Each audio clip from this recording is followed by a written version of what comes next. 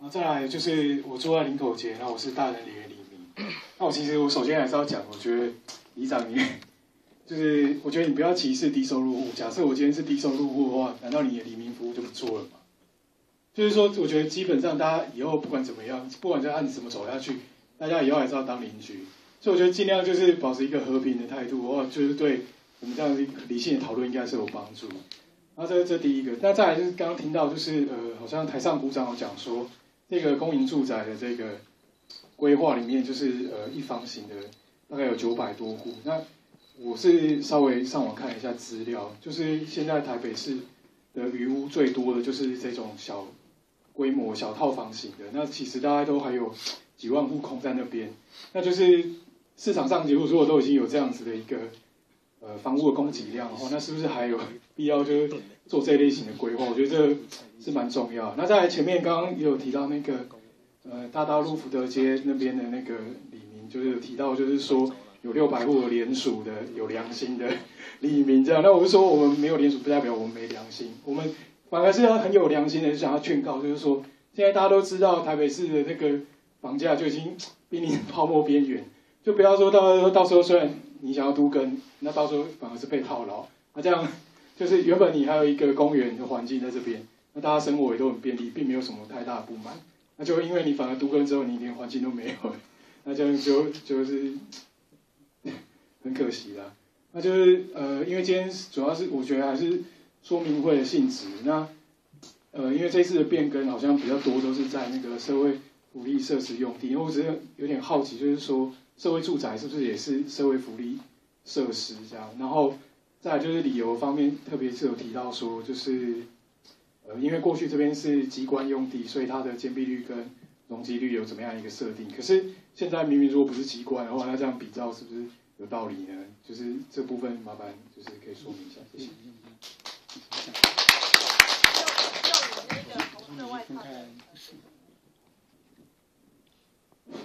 嗯，各位大家好，这边我要呃提出一个说明跟两个建议。第一个就是，其实我们这边是有增加图书馆的。这个松山家商的商业经呃商业大楼二楼以后将会成立一个无人图书馆，哦，就是在这个福德街上。所以这个是第一点，然后就说我们这边就是福德街呢，它现在正在整修当中，所以它即将要增加一个新的图书馆供这个附近居民使用。这是就我所知的部分。那再来就是呃，我是本身是住在林口街八十巷，然后我也是相当就是在意这个制造权的问题，以及周边的树木，因为我从小住在这边，我已经住在这边三十几年了，所以。对我来讲，说这边的树木，也许他们对这个专家学者来讲，它是非保护树木，它可能只是榕树，是杂树。可是这些树木真的是比我的岁数还要久，所以它并不是说，哦，因为它是很容易生长的树木，所以它就是非保护树木，然后它就可以随便处理。那我觉得像整个广慈，还有这个附近的公园用地，真的已经成为我们周边居民的生活的一环。你可以看到非常多的这个。我们周边都是五，大部分都是五层楼左右的建筑物。可是你会发现，我们这个社区其实就是年长者是真的是蛮多的，因为对他们来讲，这是周边又有奏效医院，然后又有一些信仰的中心，然后又有这样子一个他们可以活动的公园空间。所以对他们来讲，一个或者说对我们附近居民来讲，这些其实都是是记忆的一环。你今天要把这个，还有我们生活的一环，今天要把这些东西真的是连根拔起。那我觉得考虑到，当然有些利益的考量，比如说都跟什么的，这些我们即使我们住在林口街八子巷，或是大人里，或是周边里面，也有可能会面对这样的情形。可是说真的，一零一盖起来之后，地震真的是变明显了，就是那个震震动的感觉真的是变明显了。在过去同样的震度，哦，那台北市的这个震度哦，那个气象局报出来。哦，那可是跟现在的感觉是有差的。也许在那个官方的数字上是一样，可是我坐坐在这边，我敢打包票，就是越来越明显。而且我们家的房子就是三十几年的老房子，你可以看到那个就是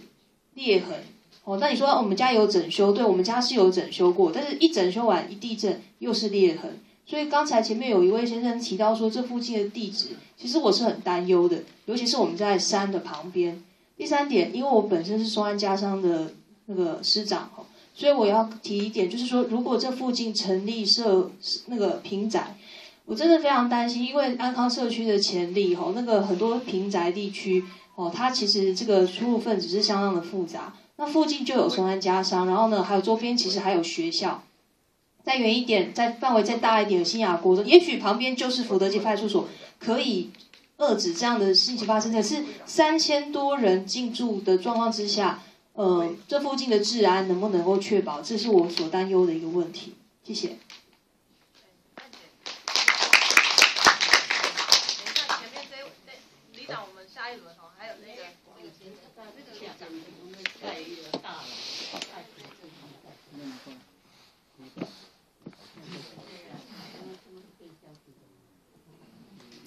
长官，那各位乡亲，呃，我是呃我是大道李局长哈。那我想说，刚刚有个图书馆，图书馆的话，应该怎么应该怎么呃来回馈这件事情，就是说，他目前在松江当确实有设一个零呃无人管理的一个一一一个类似这种图书馆。对对对，那之前在那个我记得王宏威吧，在举办那个公听会的时候，曾经有说，在那个广石在那个广州开发案里面的话，将会在。再设置一个图书馆的一个范围，这是而而而且这件事情曾经有跟郝龙斌考过那呃开过会，郝龙也确定这一点。那至于说广慈博爱院里面是不是有啊有个图书馆以后，至于说松山商职是目前是好到那个时候松山商职那个图书馆设施是要撤掉或者继续存在，那时候再来讨论。好，那旧图书馆这部分，我先我我先行做一个报告。那第二件事情就是说哈，呃，其实啊，整个广石整个广石开发案而言的话，我相信大部分的居民都是赞成的。好，那就像说我们在讲大埔案的时候，事实上赞成的人也很多。有没有异议的人呢？有。我只希望就是说，呃，我们刚才有谈到日照权，有很多技术上的问题。对，事实上就是说，哦，包括你量体部分的时候，事实上真的要帮附近的居民多站在人家的立场上来考虑这件事情。那第二件事情就是说，那个我们那个量体的部分，这部分我都要请请教一下科长部分哈。因为我在那个呃分期使用规则里面的话，并没有看到社会社会设施福利用地，它本身是社会福利设施使用。那有有一个叫机关用地，这个没错。那所以说，嗯，我想说这一这一部分的话，科长，呃，科长只要有能够的话，给我给我一个这部分法规的一个解释。那目前的话，依照我们社会的社呃社会的福利设施用地，是为什么要比照？呃，为什么要比照那个机关用地？这部分呃，我想课长是蛮专业的，了解我在讲什么。OK，好，那个所以说呃呃回回归回归过来，那那我大概有三点报告。第一第一件事情就是说，量体的部分的时候，因为公共设施目前。来讲的话，真的是没有增加，包括九十五年评估的时候，到现在真的是没有增加。你们刚才讲道路，那我告诉你了，瓦斯有没有？电力有没有？完全没有。那所以说，在那个时候，原用两百一，或者是二二五，事实上是合理的。好，那然后当然了，那我还是希望一件事情，就是说。那个，因为刚刚刚科长似乎已经已经有承诺过了，我不知道是你说溜嘴还是什么，我不知道。因为你刚刚有说那个社会福利用地的部分是比照第三种出来区，你刚刚有讲，这个就是说，假如有，对你你刚刚又提到说，目前量目前量体的时候，应该应该是比照第三种出来区，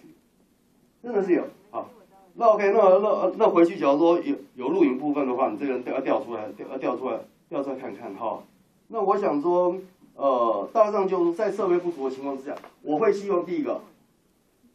绿带退出来，既然有高度有量体增加嘛，之前的时候，呃，我呃这一块的时候曾经有承诺说要退到二十米假设说你量体增加的时候，我也希望说，呃，就八十米，呃，就那个八领口就八项部分的时候，可以退到二十米以上。要万一你量体，